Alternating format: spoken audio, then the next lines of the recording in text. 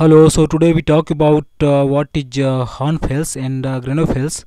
So in this video we also talk about uh, difference between hornfels and uh. So uh, hornfels and uh, both are non-foliated metamorphic rock. Uh, hornfels is formed due to the contact metamorphism. It is uh, dark color and uh, rich in uh, silicates with porphyroblastic textures. Granofels have uh, granoblastic textures and uh, lack in uh, distinct foliation or uh, lineation.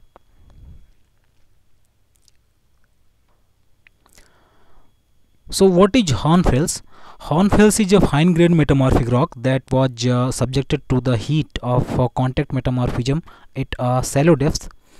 It was baked by heat conducted from a nearby magma chamber, sill, dike or lava flow.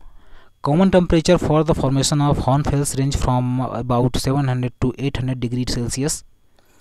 Because directed uh, pressure does not play a significant role in the formation of hornfels, it is often made up of uh, mineral grains that are equidimensional in shape and uh, uh, without a preferred uh, orientation.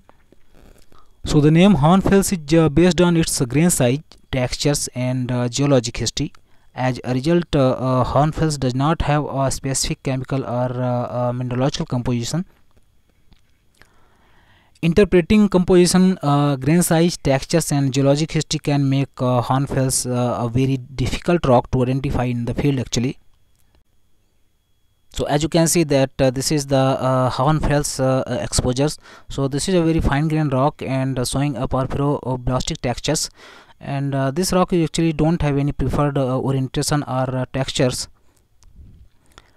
Field identification. So hornfels often have the uh, stratifications uh, large scale geometry and also some textural characteristics of the protolith. The changes of contact metamorphism that uh, convert rocks to hornfels can include uh, uh, recrystallization cementation silicification and partial melting so due to this the rock showing uh, dense hard uh, and uh, fine grain uh, uh, textures with generally homogeneous character and the semi-conchoidal fracture hornfels can be almost any color but black gray brown reddish and greenish rocks are very common. So uh, this can be identified in the field by conchoidal uh, semi-conchoidal fractures and some specific color. As i said that this is a very common color black gray brown reddish cementation and uh, silicification is also very important character for identification of uh, hornfels in the field.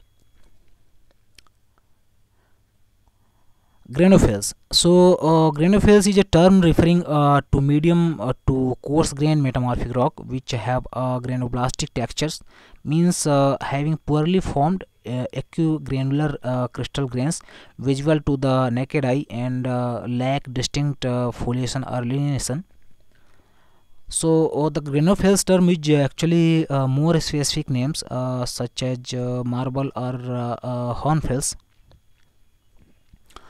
granofels is primarily a field name on a par with such term as uh, gneiss schist and uh, slate uh, it is transitional with uh, hornfels in grain size and with uh, gneiss in structures. So granofels is actually intermediate between uh, hornfels and uh, uh, see here the exposures of uh, uh, as you can see the grain size is uh, visible in naked eye.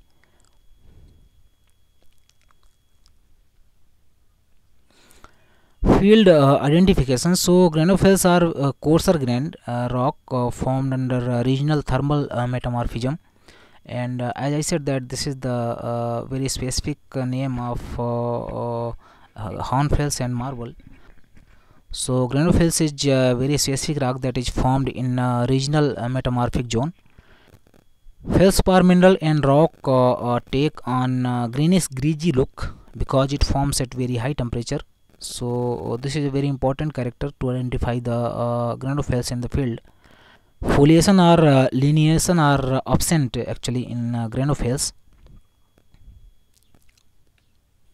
so if you want to know more about uh, metamorphic rock its uh, structures textures and uh, more feature you can see my previous video on metamorphic rock.